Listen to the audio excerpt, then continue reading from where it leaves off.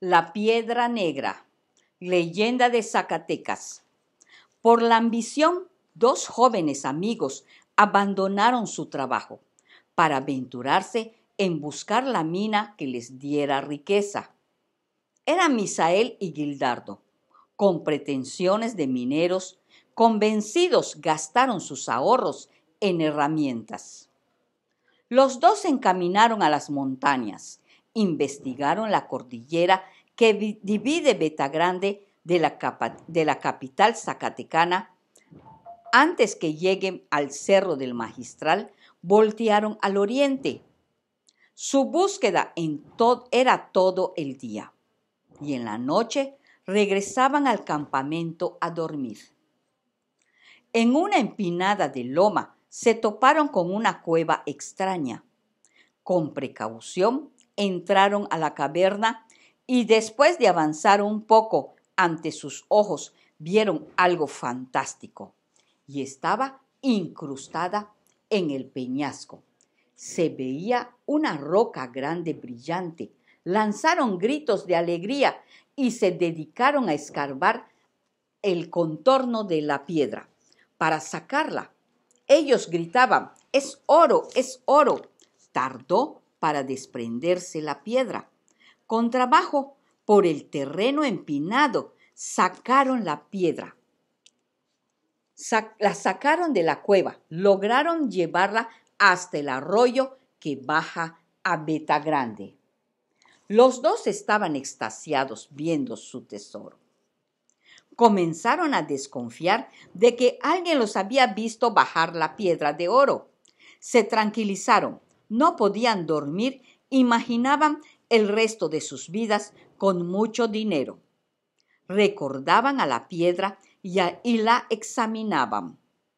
Ya los dos amigos se veían con recelos. Algo sucedió durante el resto de la noche. Un pastor, pasando por el lugar, descubrió los cuerpos de los amigos. Estaban muertos. Uno tenía un golpe en la cabeza de una piedra de arsénico y azufre. La muerte de los dos fue un misterio, quizá por el supuesto oro encontrado. La piedra fue olvidada. Poca atención le dieron quienes conocían de metales. Por coincidencia, unos jóvenes acamparon junto al arroyo Ahí estaba la piedra.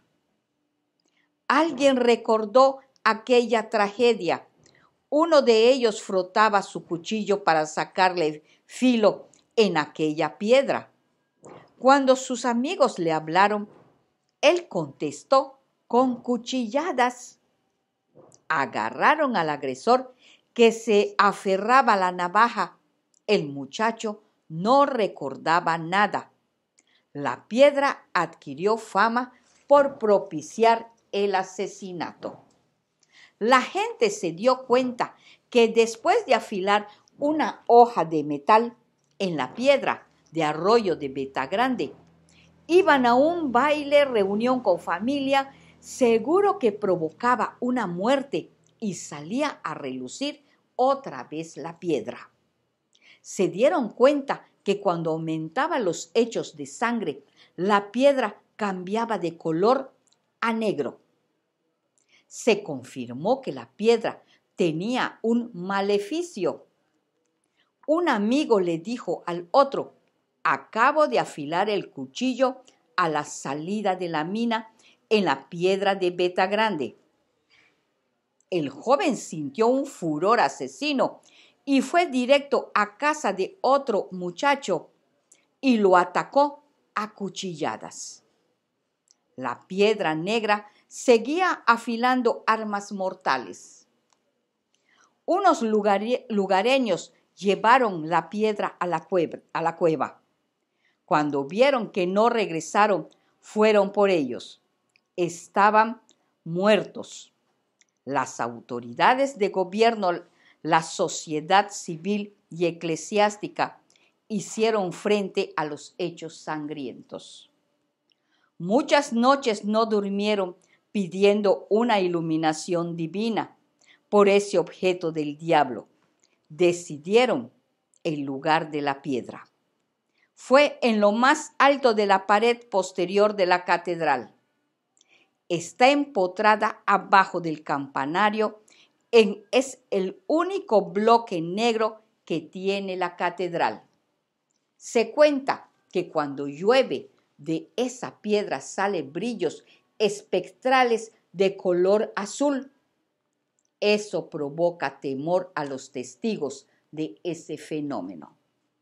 Shupi